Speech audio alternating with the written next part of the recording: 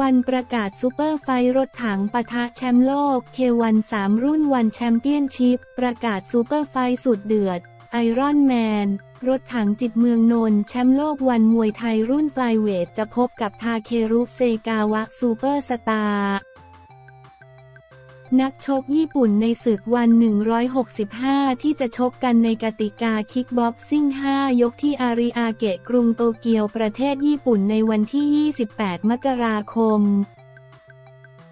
ปีหน้ารถถังนักชกค่าตัว 10 ล้านบาท เจ้าของสถิติชก 16 ชนะ 14 ไฟต์ได้คิวชกไฟต์ล่าสุดแล้ว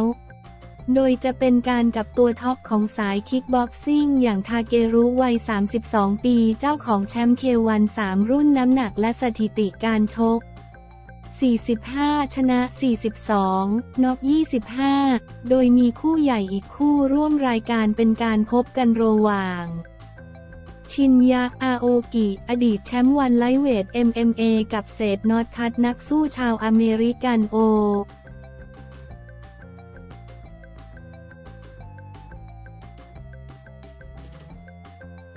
ดราม่านางงาม เจนการ์เร็ตมิสยูนิเวอร์สเนปาล2023 เคลื่อนไหวหลังถูกโยงจะถีบ แอนโทเนีย ตกเวทีแม้การประกวดมิสยูนิเวอร์ส 2023 ครั้งที่ 72 ณ กรุงซานซัลวาดอร์ประเทศเอลซาวาดอร์จะจบลงเป็นที่เรียบร้อยแล้ว แต่ดูเหมือนจะมีดราม่าไม่หยุดเลยทีเดียวล่าสุด แม่ปุ้ย TPN ออกมาไลฟ์สดเบื้องหลังของการประกวดนางงาม Miss Universe 2023 โดยระบุว่านางงามคนหนึ่งไม่ชอบแอนโทเนียถึงขั้นจะทำทุกวิถีทางเพื่อไม่ให้ได้สวมมงกุฎ แถมจะกระโดดถีบแอนโทเนีย ตกเวทีอีกต่างหาก ซึ่งแม่ปุ้ยรู้เรื่องนี้มาจากแอนโทเนียเอง รวมถึงผู้สื่อข่าวในนั้นก็มาเล่าให้ฟัง เพราะนางงามคนดังกล่าวเมาท์ให้ได้ยินเลย งานนี้ชาวโซเชียลแห่คาดเดากันยกใหญ่ว่า ใช่คนนั้นไหมที่ถามแอนโทเนียเรื่องอาหาร จะเป็นนางงามจากทวีปแถบเจ้าภาพ ชาวละติน หรือจะเป็นนางงามทวีปเอเชียด้วยกัน ก่อนจะมีข่าวเมาท์แซ่บขึ้นมาอีกครั้ง หลังไดแอนเลร์ มิสยูนิเวอร์สฝรั่งเศสออกมาให้สัมภาษณ์ในรายการแห่งหนึ่งเกี่ยวกับเจน การ์เรตต์มิสยูนิเวอร์สเนปาล2023 โดยพิธีกรตั้งคำถามว่าคุณคิดว่าเจนการ์เรตต์สมตำแหน่งไหมทางไดแอนตอบกลับว่า ฉันคิดว่าเธอสมตำแหน่ง แต่ถ้าเราได้พิจารณานิสัยของเธอสักสองสัปดาห์บางทีเธออาจจะไม่ได้เข้าไปอยู่ในตำแหน่งนั้น ไม่ใช่เพราะเธอมีภาพลักษณ์ดูดีกว่า แต่เธอมีพฤติกรรมที่ไม่ดี พอจะเข้ารอบท็อป 20 ด้วยซ้ำ เพราะพฤติกรรมและความไม่สุภาพของเธอ มีบางคำพูดที่เราต้องเก็บไว้ในใจ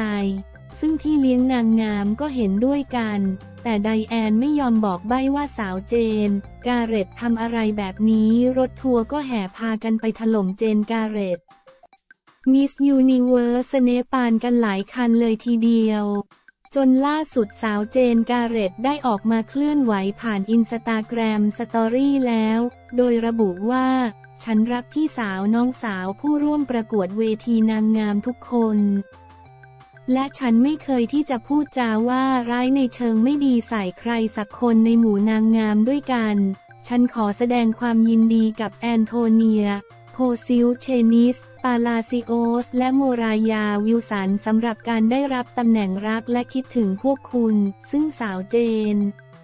การ์เรตต์ก็ได้แท็กอินสตาแกรมของทั้งสามสาวอีกด้วยเจน การ์เรตต์มิสยูนิเวอร์สเนปาล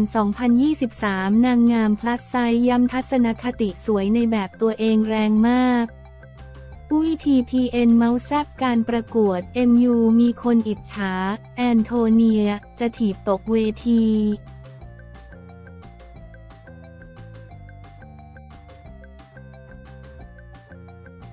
แห่ยินดีบิ๊กตู่ได้รับโปรดเกล้าโปรดกระหม่อมเป็นองคมนตรีเจ้าตัวฝากช่วยกันทำงานเพื่อชาติธนกรโพสต์ยินดีบิ๊กตู่ได้รับโปรดเกล้าโปรดกระหม่อมแต่งตั้งเป็นองคมนตรีเผยลุงตู่ฝากช่วยกันทำงานเพื่อบ้านเมือง ยึดมั่นในชาติ ศาสน์กษัตริย์ และประชาชนวันที่ 30 พฤศจิกายน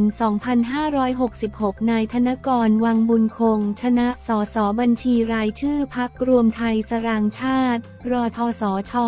โพสต์เฟซบุ๊กระบุว่ากราบแสดงความยินดีอย่างยิ่งท่านองคมนตรีพลเอกประยุทธ์จันโอชา เมื่อค่ำวานนี้หลังจากเว็บไซต์ราชกิจจานุเบกษา เผยแพร่ประกาศเรื่องแต่งตั้งองคมนตรี ผมได้ไลน์ไปแสดงความยินดีกับท่านองคมนตรีลุงตู่ ที่ได้รับพระมหากรุณาธิคุณโปรดเกล้าโปรดกระหม่อมเป็นองคมนตรีเมื่อค่ำคืนวันที่ 29 พฤศจิกายนที่ผ่านมาในฐานะที่ผมมีความเคารพรักลุงตู่เป็นอย่างมาก ผมบอกท่านว่าผมดีใจมากๆ ท่านองคมนตรีกล่าวตอบว่า ขอบคุณและฝากช่วยกันทำงานเพื่อบ้านเมือง ยึดมั่นในชาติศาสตร์กษัตริย์ และประชาชน ผู้สื่อข่าวรายงานว่าหลังจากมีพระบรมราชโองการ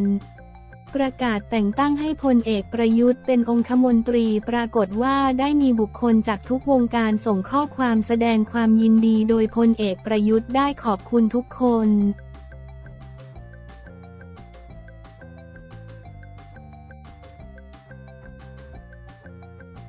เศรษฐาหยอดหวานนักศึกษาเล็งส่งดูงานซานฟรานซิสโกลั่นใน 4 ปีไทยต้องมียูนิคอร์นเศรษฐา เตรียมส่งนักศึกษาดูงานที่ซานฟรานซิสโก ปลุกสตาร์ทอัพ ตื่นจากฝันลงมือทำ ลั่น 4 ปีรัฐบาลนี้ ประเทศไทยต้องมียูนิคอร์นเมื่อเวลา 15 นาฬิกา 10 นาที วันที่ 29 พฤศจิกายน 2566 ที่ลานสังคีต มหาวิทยาลัยเชียงใหม่ ตำบลสุเทพ อำเภอเมืองเชียงใหม่ จังหวัดเชียงใหม่ นายเศรษฐาทวีสินนายกรัฐมนตรีและรัฐมนตรีว่าการกระทรวงคลังร่วมวงหารือประเด็นการพัฒนาและสร้างโอกาสทางเศรษฐกิจให้กับกลุ่มผู้ประกอบการรุ่นใหม่สตาร์ทอัพ โดยมีการออกร้านของผู้ประกอบการรุ่นใหม่ และนักศึกษาภายในมหาวิทยาลัยที่ประสบความสำเร็จแล้วในเบื้องต้น ในการมีผลิตภัณฑ์เป็นของตัวเอง เช่น เซรามิกอาหารเครื่องดื่มไอศกรีมโฮมเมด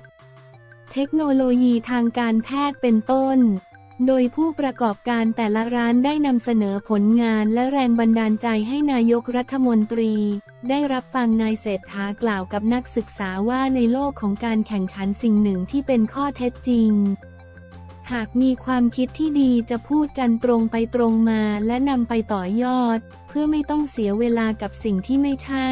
ซึ่งรัฐบาลถือเป็นหน้าที่ในการสร้างโอกาสสร้างบรรยากาศให้ทุกคนมีความคิดสร้างสรรค์ และสำคัญเหนือสิ่งอื่นใดหากมีความคิดที่ดีแล้ว ควรจะต้องเข้าถึงแหล่งเงินทุนได้ โดยไม่ต้องพึ่งบริษัทใหญ่ที่จะมาให้ทุนในลักษณะของการสงสารเห็นใจและกันเม็ดเงินให้มา นายเศรษฐากล่าวต่อว่า แต่จะต้องเป็นการเข้ามาดูผลิตภัณฑ์นั้นจริง ๆ ว่าต่อยอดได้ เพราะในธุรกิจจะมองกันที่ผลประโยชน์และการตอบแทนดังนั้นรัฐบาลจึงมองว่าเมื่อนักศึกษาหรือผู้ประกอบการมีความคิดที่ดี รัฐบาลจะต้องมีหน้าที่พัฒนาให้ความคิดเหล่านั้นเติบโตขึ้นและสามารถเข้าหาแหล่งเงินทุนได้ หากมีกองทุนเกิดขึ้น หรือหาเงินทุนมาให้ได้ก็จะต้องพูดกันอย่างตรงไปตรงมาว่าอันนี้ดีหรือไม่ดี ผมรู้สึกเป็นแผลในใจ เสียดายที่บ้านเรามีประชากร 68 ล้านคนหลายคนมีความคิดมีความฝัน แต่เราไม่มียูนิคอร์นแม้แต่คนเดียว ไม่มีบริษัทไหนที่จะมองเห็นตรงนี้ดังนั้นหากรัฐบาลสามารถทำให้เกิดขึ้นได้ ผมอยากผลักดัน ผมจะหาโอกาสพานักศึกษาที่เป็นผู้ประกอบการไปเมืองซานฟรานซิสโก ประเทศสหรัฐอเมริกา เพราะจากที่เคยไปมาที่มหาวิทยาลัยสแตนฟอร์ด ผมเห็นแล้วขนลุกทั้งคัตเอาต์ ปากกาแม้แต่แฟ้มเต็มไปด้วยสัญลักษณ์แอปเปิล ที่เข้ามาเป็นสปอนเซอร์ให้ซึ่งเมื่อครั้งที่ผมไปผมก็เอ่ยปากกับผู้บริหาร Apple ว่าอยากให้มาเป็นสปอนเซอร์ให้กับมหาวิทยาลัยในประเทศไทยบ้าง และผมมองว่ามหาวิทยาลัยเชียงใหม่มีบรรยากาศที่จะเกิดขึ้นได้นายเศรษฐากล่าว จากนั้นได้มีการแลกเปลี่ยนความเห็นระหว่างนักศึกษากับนายเศรษฐา โดยนักศึกษาได้ขอบคุณนายกรัฐมนตรีที่มองเห็นปัญหาและให้โอกาสกับนักศึกษา พร้อมระบุว่ายังไม่หวังไกลถึงขั้นเป็นยูนิคอร์นหากได้รับโอกาสก็ขอเป็น pony แล้วค่อยๆเติบโตไปเป็นยูนิคอร์นต่อไปในอนาคต นายกรัฐมนตรีกล่าวอีกว่าวันนี้มาดูไอเดียเห็นแววตาทุกคนมีความตั้งใจที่จะทำงานอย่างจริงจัง ขอขอบคุณคณาจารย์ทั้งหลายที่อยู่ในที่นี้ ตนเชื่อว่าภายในระยะเวลา 4 ปีที่รัฐบาลนี้อยู่ ประเทศไทยต้องมียูนิคอร์นและหน้าที่ของรัฐบาลจะต้องเป็นตัวกลางให้ทั่วโลก รู้ว่าไทยมีซอฟต์พาวเวอร์อะไรบ้าง ไอเดียที่ดีจะต้องมีตลาดก่อน ไม่ใช่อยากจะทำอะไรก็ทำตรงนี้มองในมุมมองของผู้ซื้อ หากตลาดไม่มีก็ไปไม่ได้อยากทำอะไรก็ต้องคิดก่อนว่ามีตลาดหรือไม่ อย่าฝืนตลาด เพราะถ้าฝืนตลาดจะขายไม่ได้ นายกรัฐมนตรีกล่าว ผู้สื่อข่าวรายงานว่า